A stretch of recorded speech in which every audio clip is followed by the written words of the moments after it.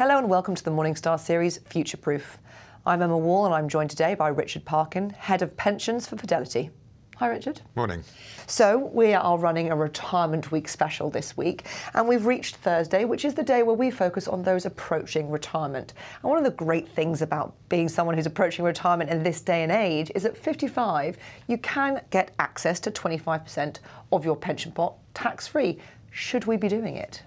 Well, generally, we suggest that people should stay invested as long as they can, uh, unless they've got a very good reason to be taking the money out at age 55. They're probably better just leaving it in there. And that's something that's come up with some studies over the last year since pension freedoms were introduced. The People's Pension, for example, have found that people didn't realise they could do this. It may well be the fault of the media, we'll hold our hands up, that they thought not only was the 25% a real positive thing to take, but it was their only option. And that's not the case, is it? No, not at all. I think there's been a lot of talk about what people can do, but not very much about what people should do. So, no, there's no reason that you need to take anything or take any action either at 55 or even when you stop employment. You you're free to take money from your pension as and when you want to. And generally, the, the view is you should only take it when you need it. So things to think about there are, um, you know, do I have any debt that I might need to pay off? Quite often, particularly if you've got unsecured debt, um, then it's uh, better to pay that off and get that out of the way um, rather than staying invested.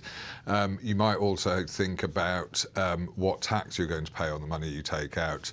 Um, people, particularly if they're still earning, will find that if they take a lump sum um, over and above the, the, the tax-free cash, they'll end up paying tax on that as well. So you have to think very carefully about what you need the money for and, and then what the consequences of taking that are on, on your tax position. And what are the benefits of staying invested, very simply? So, so um, well, first, the, the, the, most important one is that you'll continue to earn investment returns on your money. We do see people taking tax-free cash and just putting it in a bank account, which, you know, given they may have 10 or 15 years left before they actually need the money, is is not great on today's rates of, of interest. So, so that's that's the the, the main reason.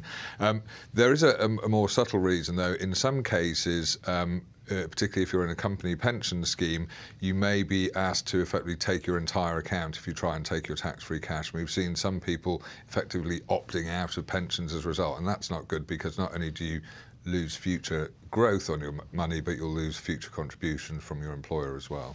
And I think that one very important thing to consider is these pension freedoms allowing us access. You, you, alluded to it then. You may not need the cash for 10, 15 years. In fact, much longer. We're living longer. We're, we're much healthier during those years. So the time that you're going to stop working, the time you're going to draw down on this cash may well be decades in the future. How does that affect your investment decisions? For example, if you're in your personal pension, in your SIPP? Yeah, so so traditionally the way the way that pensions had worked, particularly in, in workplace, was that you you de-risks, as we call it, as you get to retirement. So what that means is you start off investing in growth assets like stocks and shares, and then as you get closer to your chosen retirement date, you'll gradually move into safer assets like fixed income bonds and cash.